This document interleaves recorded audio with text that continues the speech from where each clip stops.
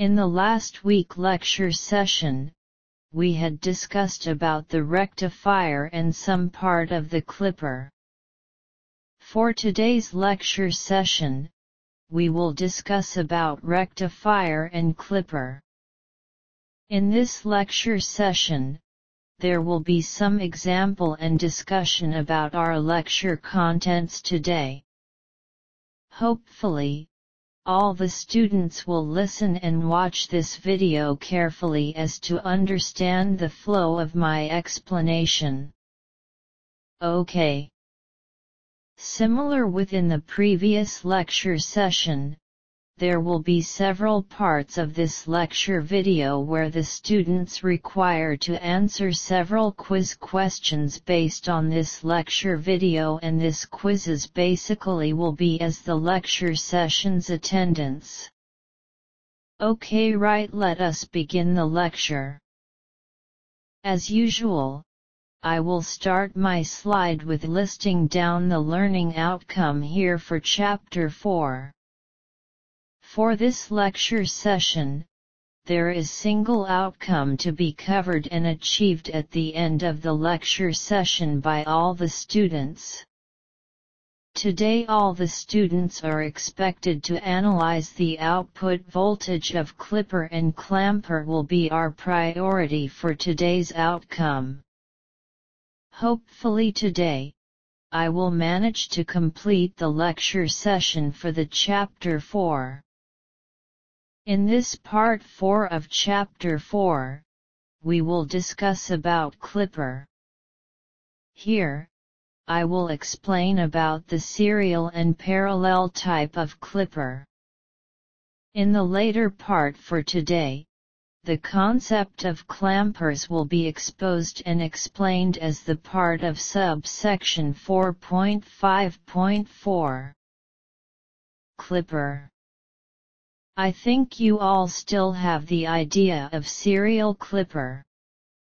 We discussed about it last week. But for today, we will take a look at the parallel clipper diode configuration. Here, right on the top figure, there is the simplest parallel. Familiar right this figure? But here, Notice that the diode is placed parallel with the VO as the output in this network. The keyword of parallel clipper is the location where the diode is placed this network. For parallel clipper produce the output VO as in the green round shaped boxes. During the first half of input VO is 0 while in the second half of VO reflected similar voltage as the VI. On the other hand, the bottom figures are the one that we discussed last week. Serial Clipper C. The output side of the both square and triangular pulse were alternating with the parallel one. This may be a way to understand the two. Now, we will discuss about the example number 13. Determine VO for the network or the circuit in figure 20.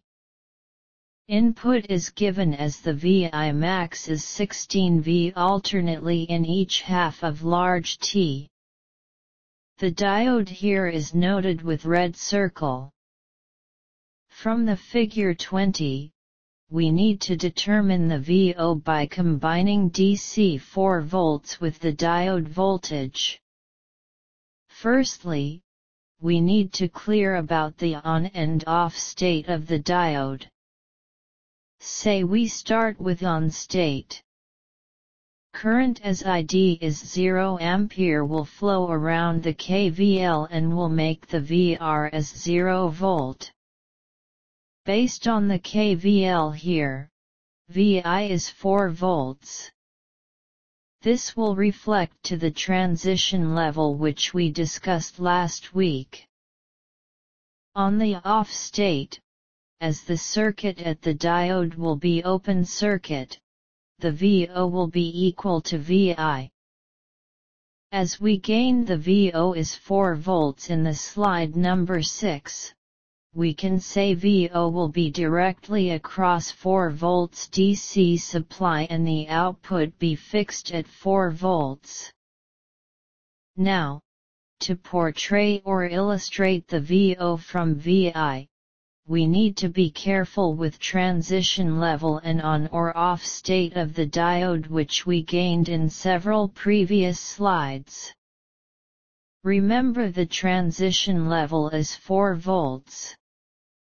This level will be the new level for splitting the off and on state.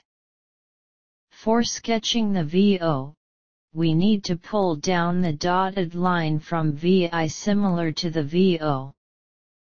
As conclusion for the example, we have first the minimum VO in first half is 4 volts. While the second half of VO is 4 volts not 0. For the example 14, we need to determine VO for the network in figure 21 with consideration of silicon diode with VK is equal to 0.7 volts. Just now in example 13, we used the ideal diode with the voltage of on state is 0 volts. Here the diode on state is 0.7 volts as its voltage Ni is 0.7. Firstly, we need to clear about the on and off state of the diode. Say we start with on state. Current as ID is 0 ampere will flow around the KVL and will make the VR as 0 volt. Based on the KVL here, VI is equal to 4 minus with 0.7 which is 3.3 volts. This will reflect to the new transition level compared to the previous example was 4 volts right.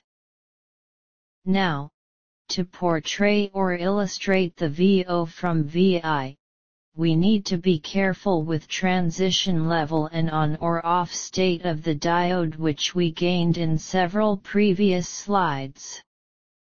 The new transition level with silicon diode is 3.3 volts. The off state here, VO is equal to VI as the open circuit is concerned here. This 3.3 volt level will be the new level for splitting the off and on state. For sketching the VO, we need to pull down the dotted line from VI similar to the VO. As conclusion for the example, we have first the minimum VO in first half is 3.3 volts while the second half of VO is 3.3 volts not 0 until the full T cycle. Based on the both types of clippers, here we can simplify it with the conclusion table. For the simple series clipper, we have two types of out voltage which is depends on the diode direction in series circuit. When a DC supply is attached to the diode, the VO may be added or subtracted the DC supply.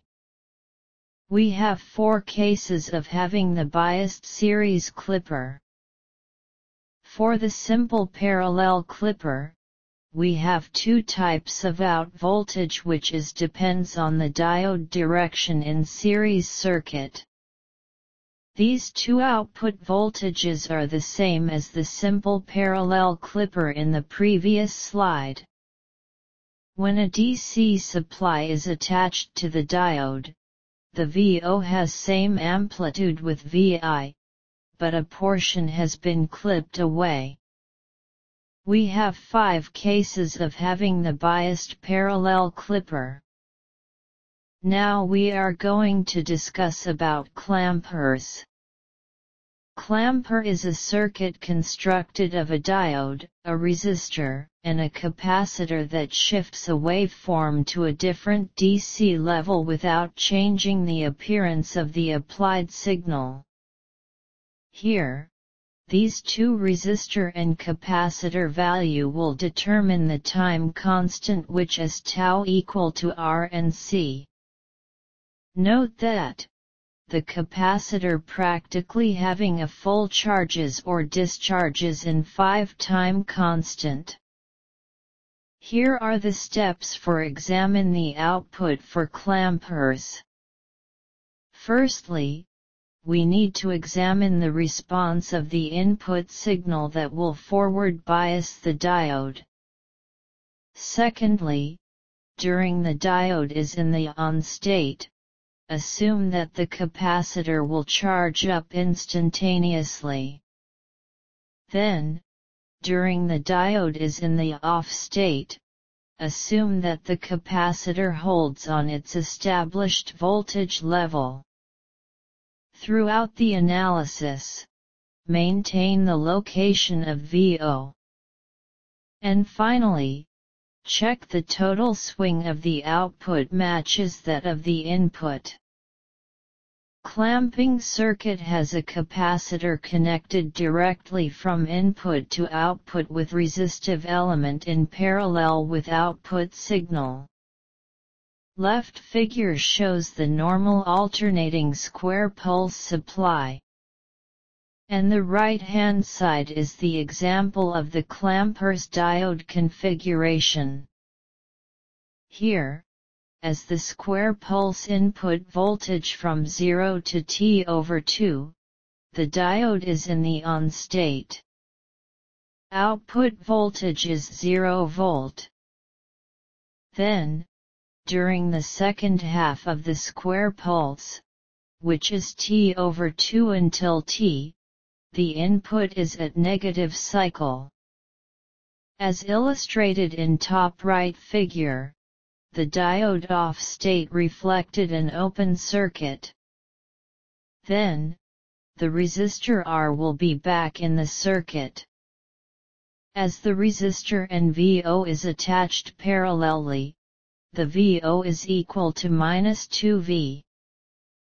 In example 15, we need to determine the VO for the circuit in figure 22. As usual the left is input voltage as VI. Right one is the circuit of the VO.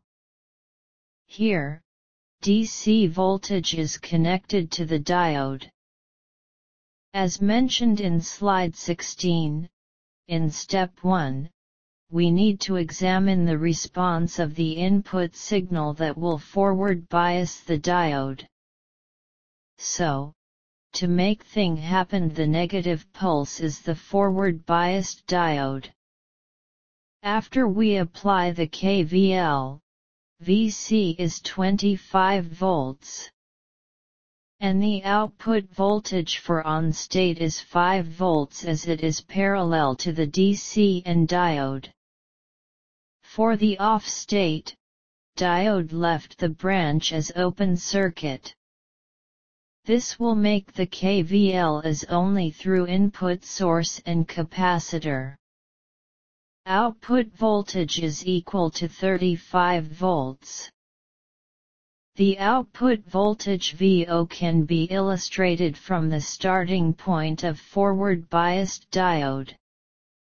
On state has 5 volts as the output and 35 volts when off state. In example 16, we need to determine the VO for the circuit in the same figure 22 but with consideration of silicon diode with VK is 0.7 volts.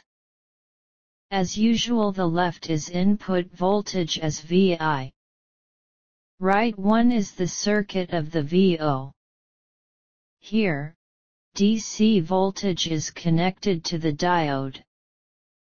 In the step 1, we need to examine the response of the input signal that will forward bias the diode.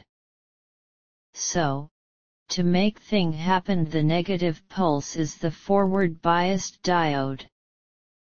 After we apply the KVL, VC is 24.3 volts. And the output voltage for on state is 4.3 volts as it is parallel to the DC and diode. For the off state, diode left the branch as open circuit. This will make the KVL as only through input source and capacitor.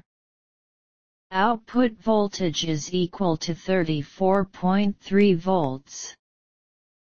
As to summarize the clampers, here is the six types of the clamping circuit with ideal diodes.